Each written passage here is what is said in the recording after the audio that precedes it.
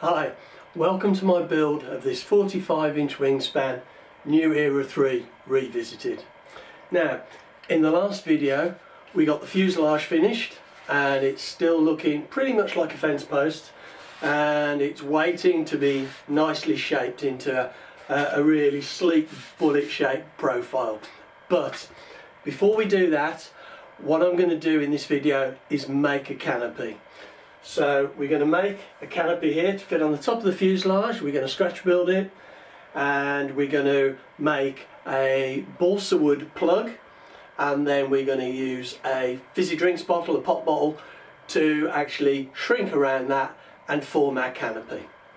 Now we've got very little information to go on really which can be a good thing and and and because it gives us more artistic license or not but what we've got is essentially the side elevation here which uh, just shows us kind of the length and the height of the canopy which is really useful. It'd be nice if there was a, a profile on the on the plan view but to be honest it doesn't really matter.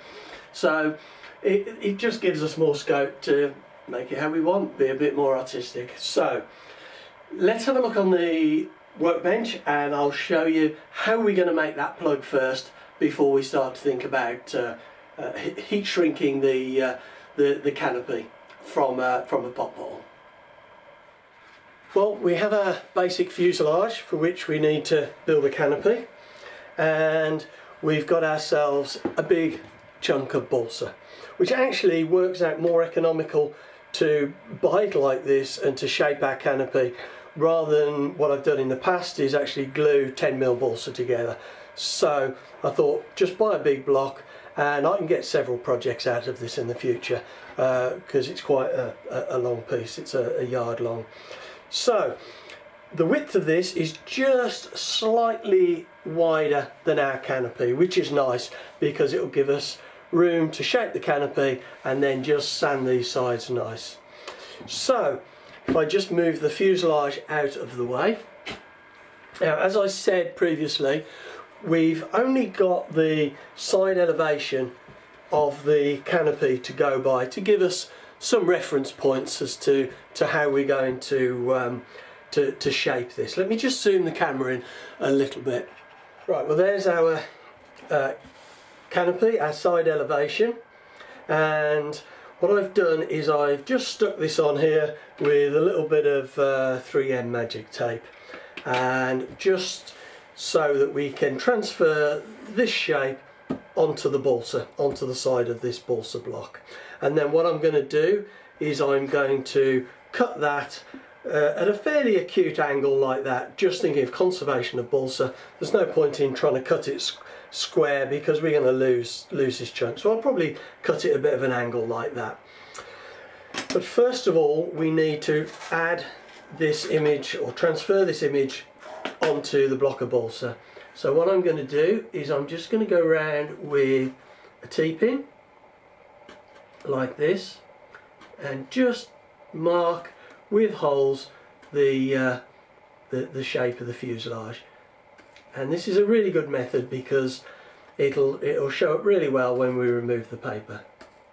I now have my bit of balsa cut to length and I've got the profile drawn on so the next job I'm going to do is profile this right the way across so it's just done in that dimension.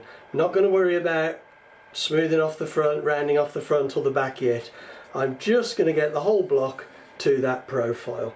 I will then look at it and start thinking about how I'm going to shape the front and the back. Right, well I've now got the side elevation cut into this chunk of balsa and the next consideration we need to think about is the actual plan view, how it's going to, to, to look and cut that in. So on the underside here I've actually drawn the, um, the shape that I'm going to do. I'm going to do a nice rounded front and I'm going to taper it back from this point to a, to a kind of a rounded back. Now at this stage I'm not going to worry about trying to smooth it off and getting that overall finished three-dimensional shape. I'm literally just going to cut these corners square, sand it round and do this back edge and then once we've got that done which is our nice plan profile and we'll have our side elevation profile we can think about putting the corners in and getting that final three-dimensional um, canopy. Well our plug is really starting to come on now. We've got the side elevation we've seen earlier and now we have the, the, the plan view as well and you can see we've got a nicely rounded front on that and uh, we've brought the back down and rounded that as well. I mean it's not perfect but it's it's it feels pretty nice and uh, it's more or less there. And the next thing we need to do is to start bringing these corners round and actually profiling this into a, a three-dimensional canopy rather than a plan view and a, a side elevation. Now if we just put that on the fuselage we can put that into place like that. And that doesn't look too bad actually. It does look a little bit big and it is bigger than necessary. If you remember when we cut the side elevation out on the plan the piece of paper which I think I've put away uh, so I can't show you but it actually included a piece that lapped down onto the fuselage here just about um, might have been as much as quarter of an inch, something like that. It, it might be that when we finish this plug and got it just right, I'm actually going to stick a little bit of balsa on the bottom to increase the amount of canopy we make and then that will give a, a bigger overlap but we'll assess that later. So we have to remember this canopy does look a little bit perhaps taller, higher off the fuselage than it will be once we've, we've trimmed it to size but it gives us an idea of, of, of where we're going. So the next job is ultimately the most difficult and we need to start thinking about bringing these sides around, bringing them round and making this into a lovely curve to follow essentially the, the curve we've got here at the front because obviously we don't want these, these sharp corners. But doing the side elevation and the plan has just allowed us to get this to uh, a kind of an advanced stage where it's, it's fine tuning now to, uh, to, to get this down to the finished shape. And the way I will do that, just under my bench, is I've got my David plane. I've done a review of this, which is on my YouTube. If you have a look in the description below this video, I'll include a link to the review. But what I will do is I will just plane these sides down and take these off and gradually bring that into a nice curve over the back. We need to be really careful and not to take too much off. So the, the use of the plane will be limited and I'll probably just do a lot of it with a sanding stick by eye. A very quick half-time review if you like. I've been planing this with my uh, with my David plane and you can see I've taken just the sides off here and here and um, and also on the back here trying hard to keep this bit of a shoulder here for the moment I, I don't want to kind of I, I want to have the canopy bit and then I want to change direction going back down to the the end so that's that needs to be retained for now I've probably got to the point where I've done enough with the plane and I'm going to use my sanding stick and uh, and now work on this. This big sanding stick, quite rough, quite coarse, so it'll bring this down quite quickly I think. And I need to curve that over. I haven't really touched that with the plane much, but if we have a quick look at the canopy on the fuselage, we can see it's it's starting to look like uh, like it might be okay. So uh, I'm going to take this outside now and uh, and give it a good a good sand and uh, we'll have a look when it's done. Well, I think I have probably now got my finished plug.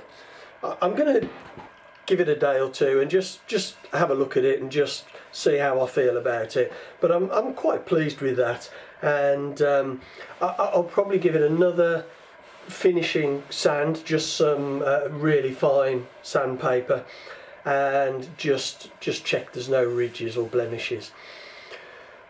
I've been outside sanding it and the sun is really low at this time of the year which is excellent because it just casts shadows on those little ridges uh, that, that that are present while you're sanding. So it's a really it's really good to get outside in in the sun and low sun and sand this.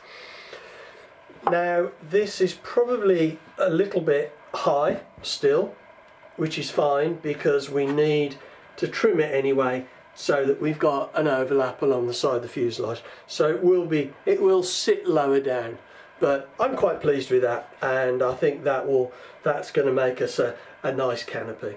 So the next stage as I said a very quick fine sand.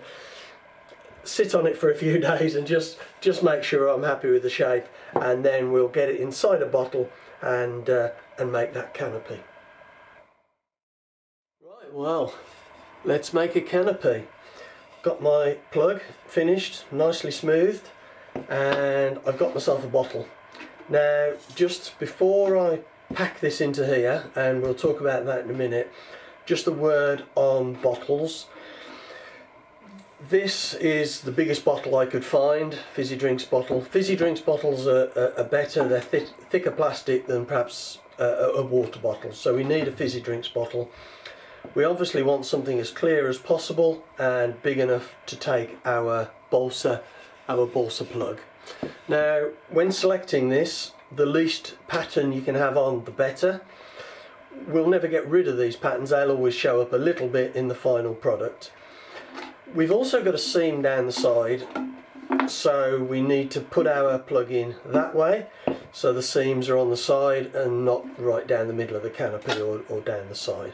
Another consideration when buying the bottle is that this has got sticky here from a label which we want to have on the bottom.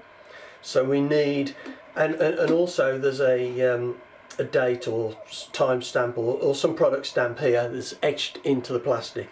So when we buy our bottle we want to look for one that's got a label with the sticky bit close to the dated stamp but also where these two items are midway between the seams which is essentially what this bottle is. So none of this section we want on the top. That needs to be on the bottom. So that leaves us a nice clear canopy or a clear bit of plastic for the canopy. So we've got the sticky the label and the seams. So all of the stuff we want is on the sides or the bottom. Now I've cut this bottle, I've cut the bottom off, but I've actually left a little bit of the, the bottom on, well it's essentially is going to be the top of the, the canopy. And that's because it's only just long enough and we're going to need to pull that down to, uh, to make sure it fits nicely. So, but I've still got enough room there to slide in my my canopy carefully so as not to not to scratch it. Remember balsa, balsa is very soft and um, and plastic is actually quite sharp and hard. Right, so there we go. We've got that in. That's the way it's going to go. And now I'm going to pack that and uh, I'll talk to you a little bit about the packing once I've done it. Well, I've now got this packed into the bottle and as with most things, preparation is is vital. And one of the key things with this is trying to reduce the amount the bottle can shrink. So packing this really tight up against this top edge of the bottle. And one of the, the, the biggest problems is with this tail end here how it slopes down. So I've actually put wedges in and pulled the bottle around and you can see there's a little bit of a crease here which I'm hoping will come out and a little bit of a, a crease there which I'm hoping will come out.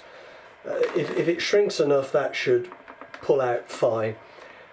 The um, I think it's going to be quite difficult to get this to finish properly around here. I have got a backup plan which is to essentially have a, a balsa tail to this canopy which will actually be quite useful as a fixing but um, we'll see how it goes anyway and I need to pull this down as I'm doing it. But we'll have a go now and see how that works out.